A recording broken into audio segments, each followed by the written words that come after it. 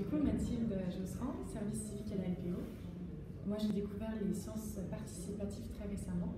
Et la première chose qui m'a vraiment étonnée, dès que j'ai connu les sciences participatives, c'est de voir à quel point il y avait un réseau de citoyens impliqués dans justement la connaissance de l'environnement en France et surtout de découvrir la carte de France avec tous les petits points, notamment tous les jardins de France qui participent au programme.